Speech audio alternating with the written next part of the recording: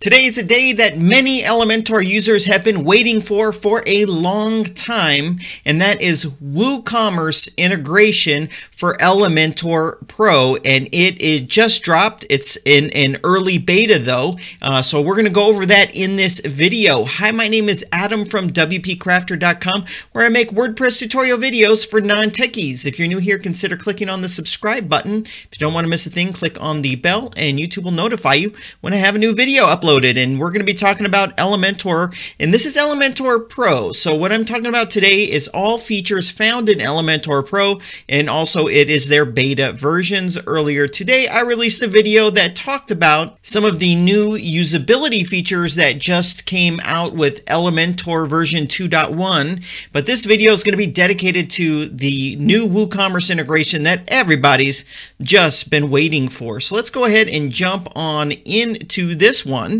Okay, so I have Elementor installed here along with Elementor Pro. Now what you have to do though is you have to enable the beta updates. And if you do that, you're going to see Elementor version 2.1. Now, this is actually an early alpha, which means this is not something to install on a live website. It's just to see what's coming to get prepared for it. You can even uh, do some different layouts. Now, when I looked at the modules that this comes with, we're going to look at it right now. I full-heartedly believe that no other page builder even comes close to what you can do if you're using WooCommerce along with Elementor. No other page builder can even come close.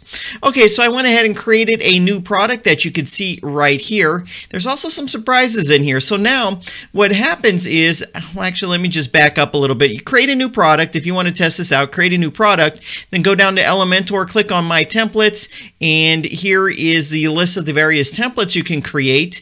And so you're going to notice two new tabs here that you didn't see before. Single product and product archive. So when you click on add new to create a new template on the drop down here you're going to see the new option for single product and product archive. So if you go ahead and choose single product that's what I did. Now what happens is the only time you see these new WooCommerce elements that you can use to build out your Elementor or your WooCommerce product pages the only way to see those is actually to do it via a template and then you're going to see these all right here.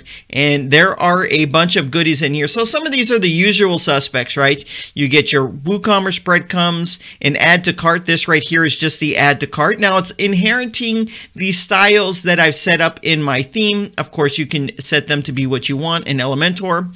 Product data tabs, that's right here, which is usually reviews and some other things that you could put in there. Additional information, product images, that's this right here. Product meta, product price. I got the price right there.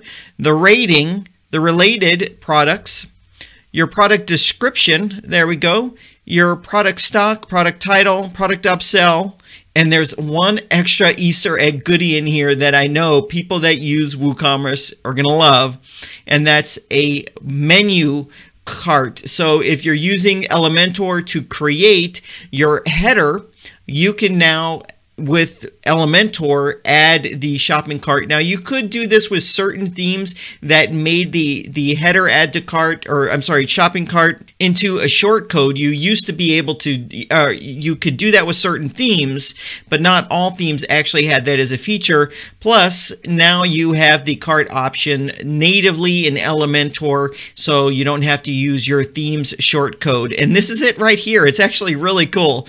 Uh, so um, you could choose if you wanted the total to, to show and uh, here's some options for the icon. So if you didn't want a cart like that, you could do a bag and it's going to change to a little shopping bag. You can disable the subtotal if you didn't want to. And then here's how you could have the item indicator. So right now you see the item indicator in the top right there. It's very nice. And then you can, of course, style it up right here. Now there's an interesting goodie that is in here that actually surprised me.